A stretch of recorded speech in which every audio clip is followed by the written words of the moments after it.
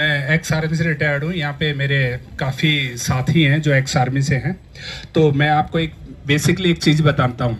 जो रणवीर सर सुबह कराते हैं, सबसे पहले जो मैं आपको एक चीज़ बताता हूँ एक्सरसाइज में। जो स्टिचिंग एक्सरसाइज जो आपको विजेंद्र जी कराते हैं स्टिचिंग एक्सरसाइज का भी एक मकसद है कि आपके पूरे बॉडी पार्ट्स हैं, जो आपसे हमको मसल सोई हुए वो भी आपकी ओपन हो जाए।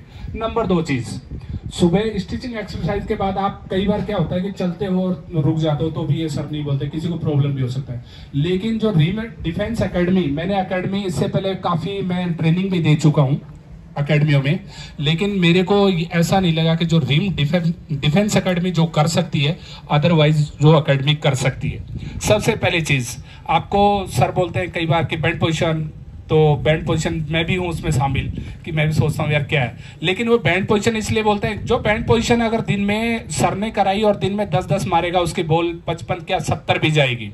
वो सर का मोटिवेशन है। अगर सर के अलावा जिसने दस दस बैंड स्टेज की हैं, मैं गारंटी के साथ बोलता हूँ, उसकी 70 मीटर जाएगी। नंबर दो चीज़, मैंने इनका खाना भी एक दिन देखा। द बेस्ट खाना है, सबसे बेस्ट खाना है, जो कि बादाम दे रहे हैं और चना दे रहे हैं। और सर, सात हज़ार में दे रहे हैं, बाकी अकेडमी दस हज़ार में।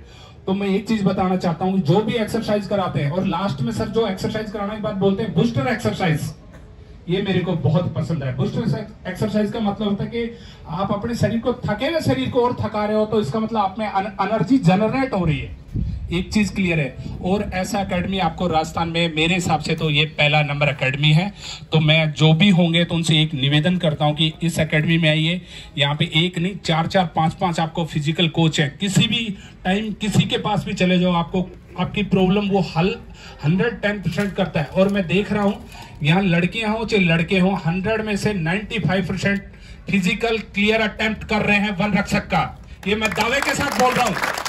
क्योंकि मैं आया था, मैंने 40 मीटर बॉल फेंक रहा था और आज मैंने 55 और वो जानते हैं, इनके स्टाफ के विजेंद्र जी हैं या रिंकू जी हैं, मैंने 55 क्लियर की है परसों। तो यहाँ पे जो आया जो सर एक्सरसाइज कराते हैं बैंड स्टेज का मतलब ये नहीं है कि वो वो आपको प्रेशर लेकिन रिम डिफेंस एकेडमी के वन रक्षक में सो हंड्रेड में से 95 परसेंट अभी सिलेक्टेड और पाँच परसेंट अभी और हो जाएँगे, क्योंकि अभी हमारे पास टाइम है। टाइम है तो टाइम को बुलाओ। सिर्फ़ टाइम को बुलाओ आप टाइम को अगर जिसने बोलते ना, जिसने अपना टाइम खर्च किया सर बोलते हैं, कई बार तो उसको गूगल ने सर्च किया। तो वो बात बिल्कुल करेक्ट है। जो अपना टाइम खर्च करेगा न भाओगे तो युद्ध में आपको खून बहाना नहीं पड़ेगा। Thank you to every all बहुत बहुत शुभकामनाएँ। बहुत ही अच्छे विचार, अच्छी भावनाएँ आपके सामने रखी।